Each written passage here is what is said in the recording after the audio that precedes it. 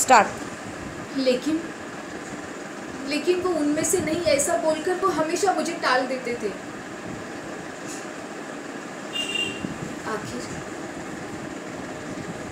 वो काली रात भी आ गई। उस रात वो शराब पीकर घर लौट गई।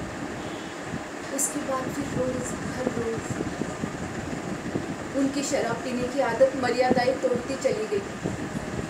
मैंने उन्हें रोका, बहुत रोका। जहाँ तक हो सके उतना रोका।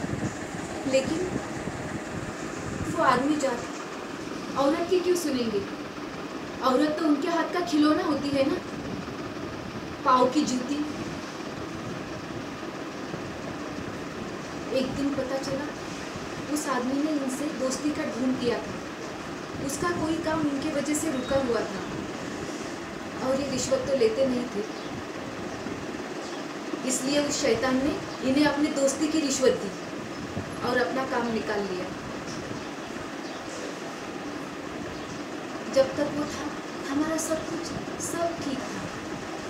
घूमना, फिरना, पार्टियाँ, ऐशो आराम की ज़िंदगी, सब कुछ। लेकिन उसके बाद हमारे घर का खर्चा भी मुश्किल हो गया।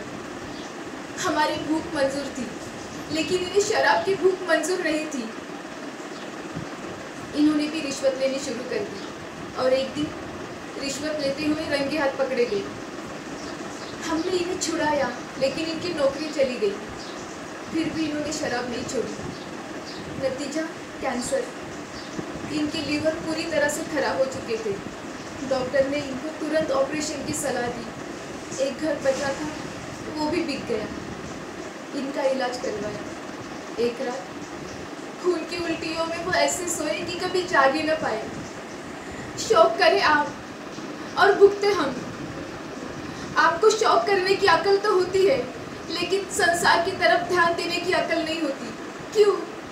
ऐसा क्यों है? आखिर देवर जी, ऐसा क्यों है? क्यों? क्यों?